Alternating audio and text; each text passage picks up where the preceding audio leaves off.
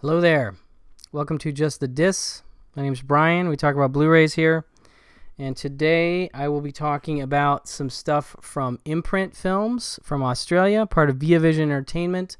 I've talked about them on the channel before. I'm a big fan of what they're doing. And we have some uh, Hammer films and some older uh,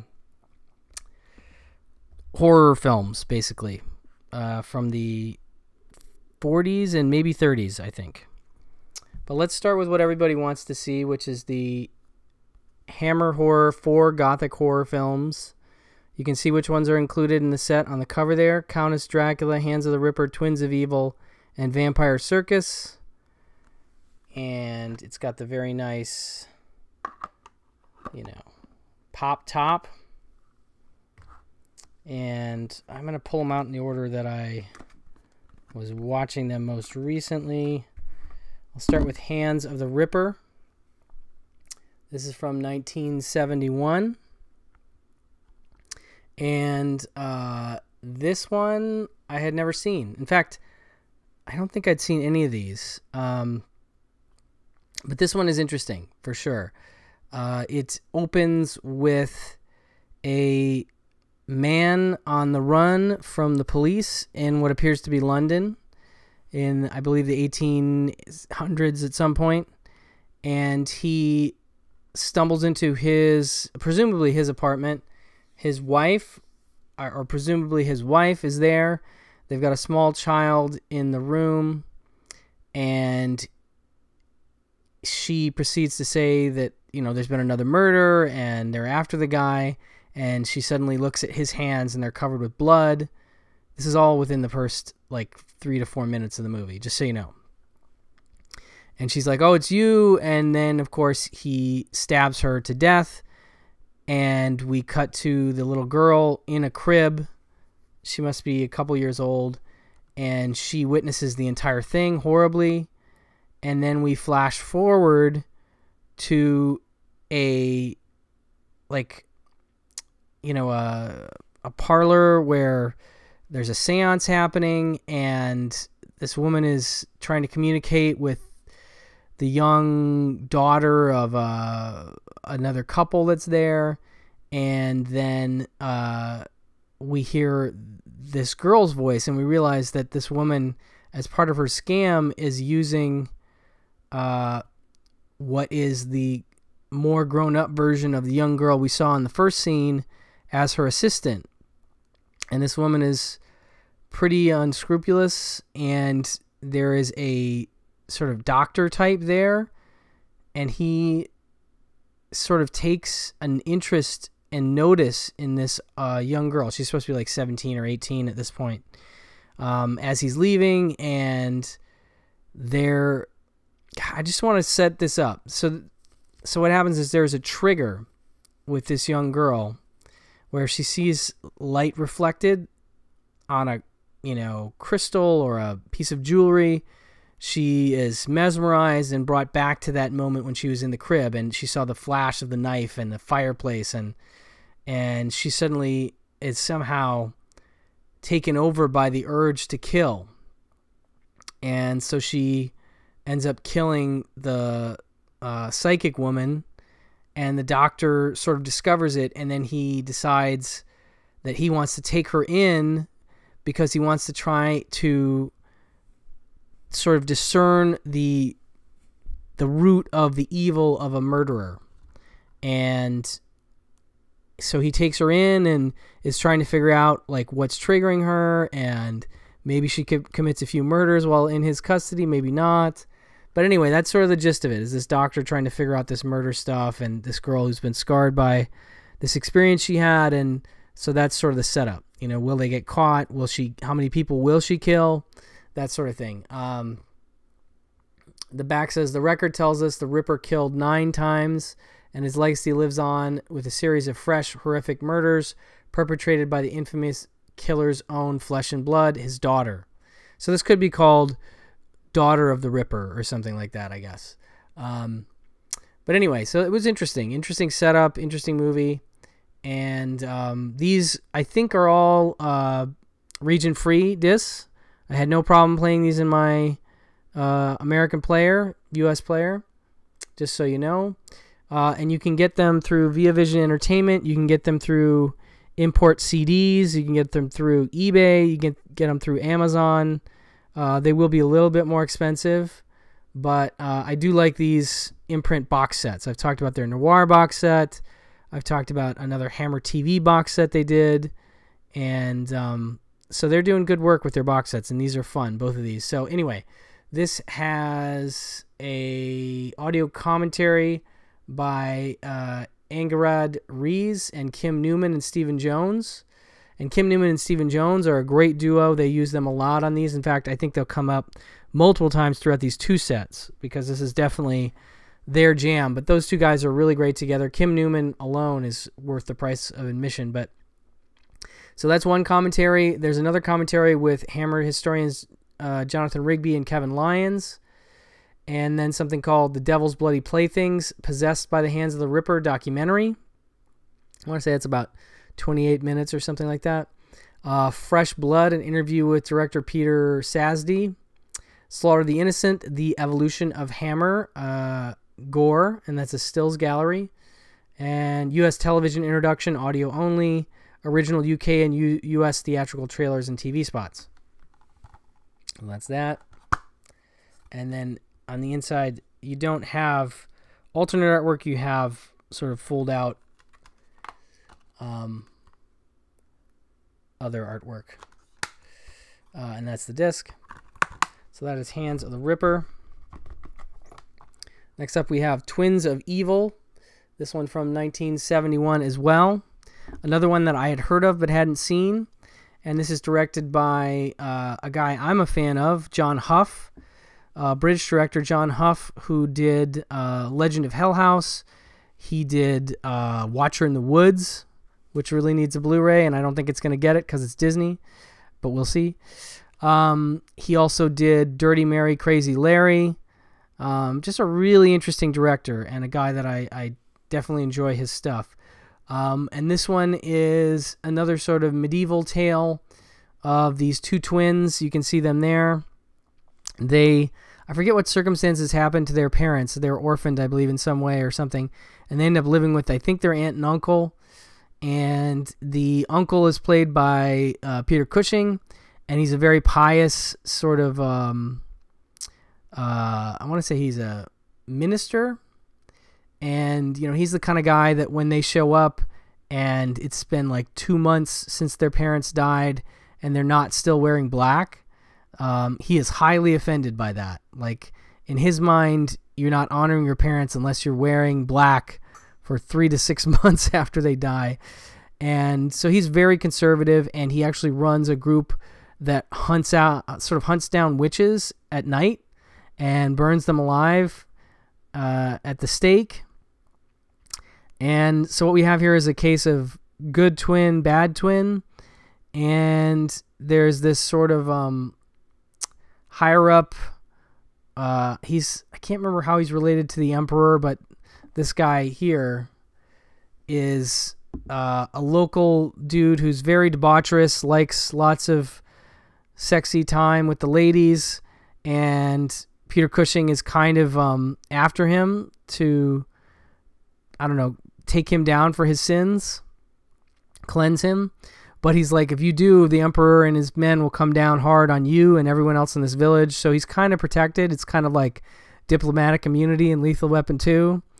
And so this guy, he's just bored and he's he's trying to get satanic rites done, rituals done around his castle, and the naughty twin sort of takes a liking to him, and there's vampirism, and I'm not gonna spoil too much more, but um, there's some there's some uh, vampire stuff that happens with one of the girls, and it kind of uh, spins from there, and it's interesting how it plays out with Cushing and everybody. Um, but this is an enjoyable one. This is uh, fun to watch these two twins. I don't know these actors, these actresses, but they are both good together. And um, of course, Peter Cushing is great as this pious witch burner guy. He really works. so, um, this one has an, two audio commentaries as well. Uh, Kim Newman and Stephen Jones, of course. Uh, Hammer historians historians Jonathan Rigby and Kevin Lyons again.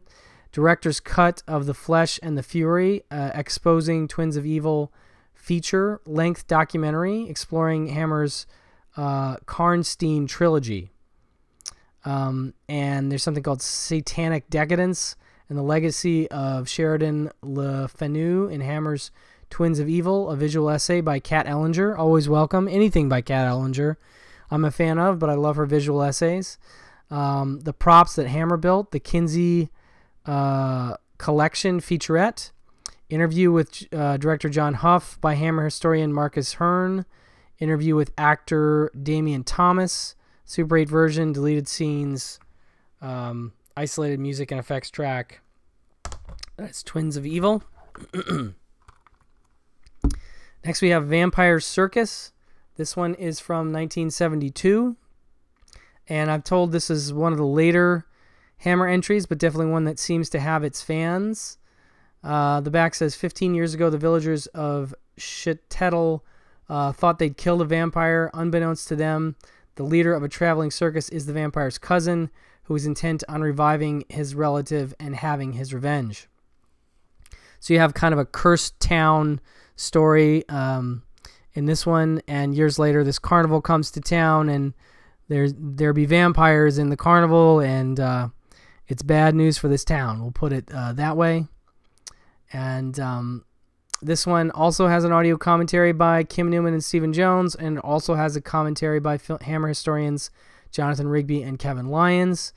Uh, something called The Bloodiest Show on Earth, The Making of Vampire Circus documentary.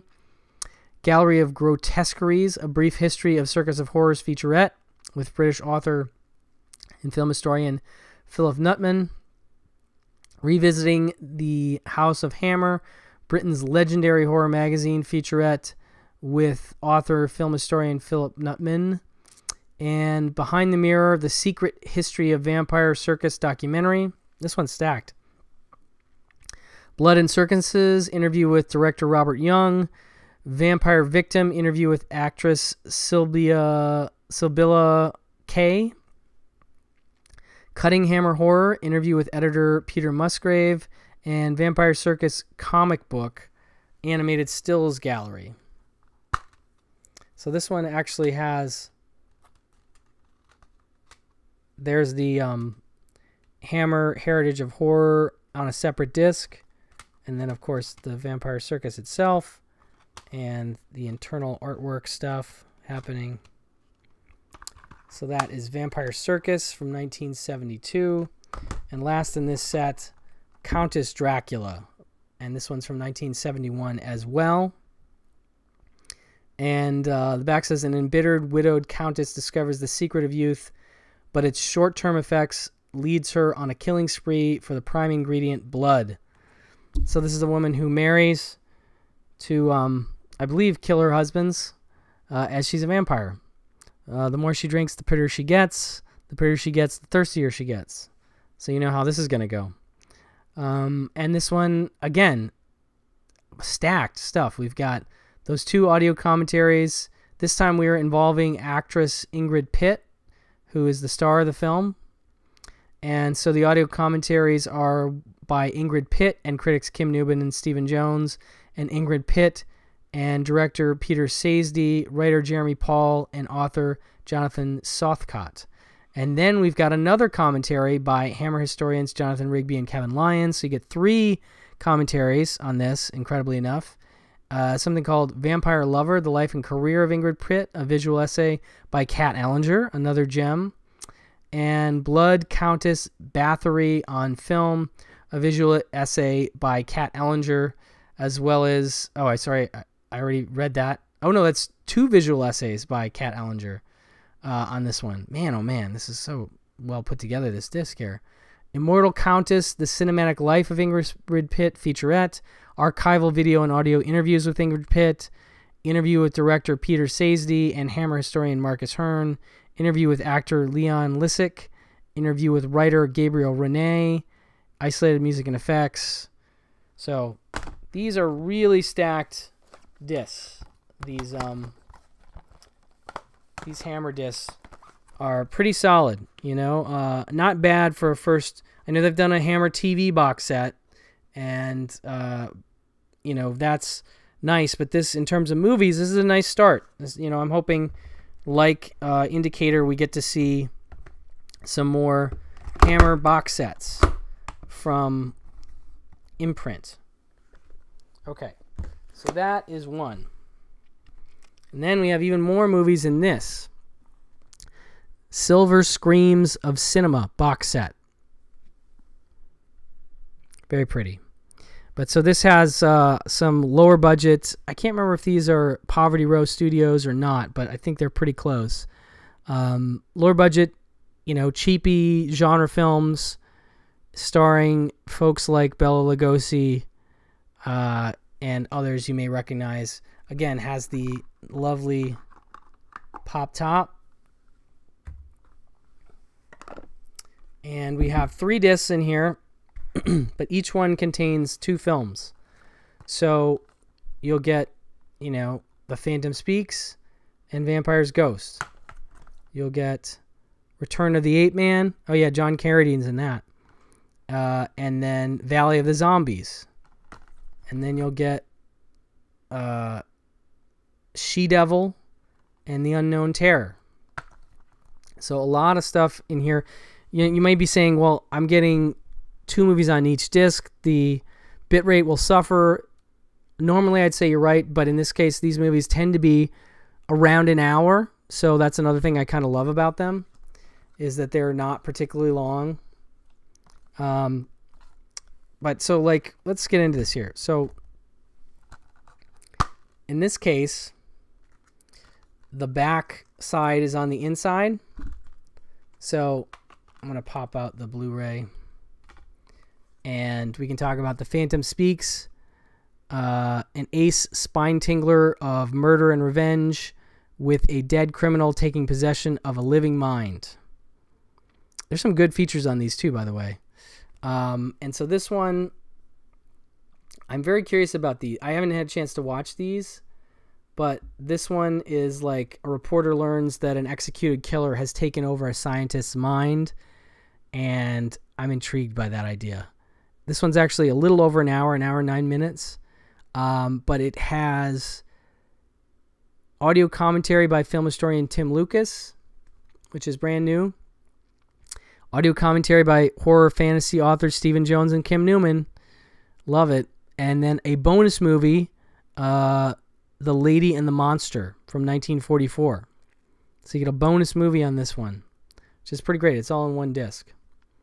Uh, and then Vampire's Ghost is intriguing in that it is about well the back says the spell of the man who couldn't die weaves a web of horror around a beautiful girl. But it's about uh, in a small African port, this bar run by an old man named Webb Fallon. Uh, and he's actually a vampire, but he's becoming weary of his life over the past few hundred years. So we're just sort of dealing with where he's at in his life. But what I find really intriguing about it is it's got an original story by Leigh Brackett. And Leigh Brackett, of course, was the screenwriter who worked with Howard Hawks on Rio Bravo, The Big Sleep.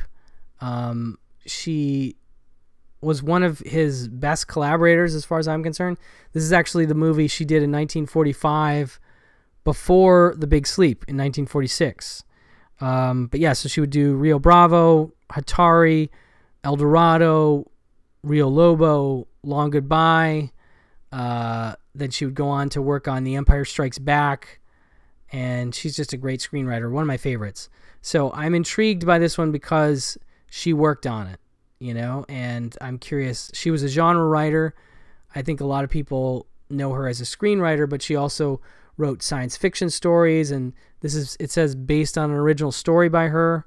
So I'm very excited to check that one out. That has come out previously on a um, Olive Films Blu-ray, but I I'm very excited to check out this new one. Now this also features a commentary by uh this in this case Tom Weaver and Gary Rhodes.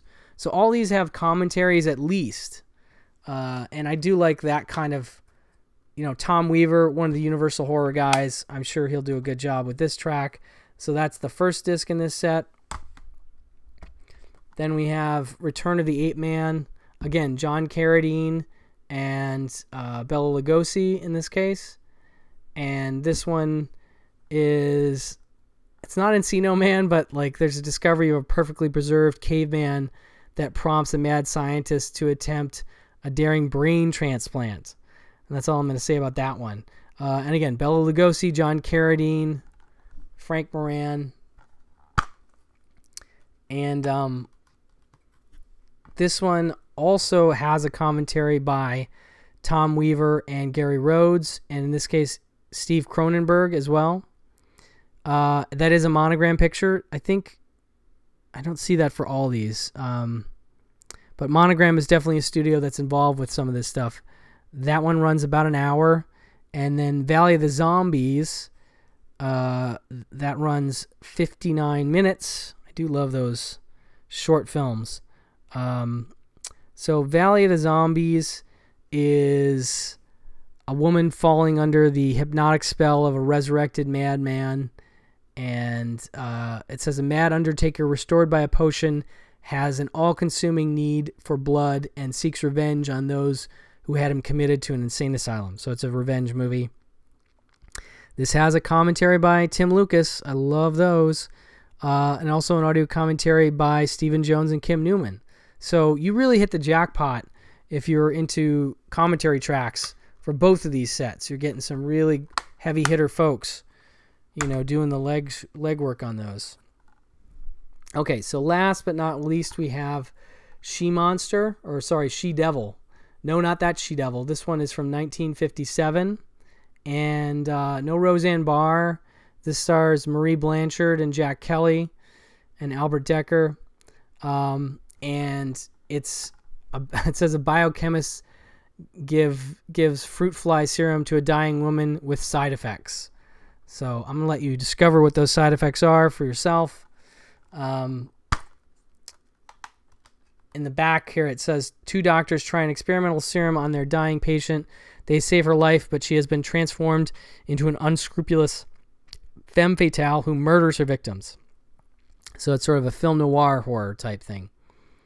Uh, and this one has a commentary by Stephen Jones and Kim Newman, something called uh, a Tales of Tomorrow episode the Miraculous Serum, based on the science fiction short story The Adaptive Ultimate, and something uh, sort of a radio adaptation, radio anthology episode uh, called Escape, also based on The Adaptive Ultimate, which is the story that this film is based on. So that is She Devil, and that is from 1957. And then The Unknown Terror is uh, about a woman who leads an expedition into a remote jungle to find her long lost brother, but instead finds a mad scientist who created a fungus monster that feeds on the local inhabitants. So, like something like um, From Hell It Came, or I mean, that's more of a tree monster if you want to get specific. Uh, but this is a fungus monster. It kind of looks like the monster from From Hell It Came, actually a little more uh, definition in his claws and his digits there. Um, but yeah, the the back says the mysterious disappearance of Jim Wheatley while exploring a cave near a Mexican village brings his sister and her husband to the territory to search for them. Uh, and this one also has a commentary by Stephen Jones and Kim Newman. They are our all stars of the night and are really working their tails off to bring you lots of commentaries. And those guys are just a lot of fun to listen to. So, Imprint really doing up a lovely collection of lower budget genre cinema to go with our Hammer box set. And uh, I'm a big fan of what they're doing, like I said. So, I do recommend checking them out and checking out uh, what they have coming in the future. They're definitely putting out stuff that is sometimes not on Blu-ray. There's definitely some Blu-ray debuts in here. Like I said, Vampires Ghost and Return of the Ape Man have been on Blu-ray, and I feel like um, several of those uh, from the Hammer set have been on Blu-ray. Maybe not Countess Dracula, but I feel like Twins of Evil, Hands of the Ripper, maybe Vampire Circus. Don't quote me on that. Um, but anyway, these are really nice additions with excellent special features. I can't recommend imprint films enough. They're really doing good work. Again, all region free. You don't have to have a multi region player to play these. Um, so, all the more reason to check them out. And um, that's it. So, thank you for watching. And uh, I will be back with more Blu rays soon. Bye bye.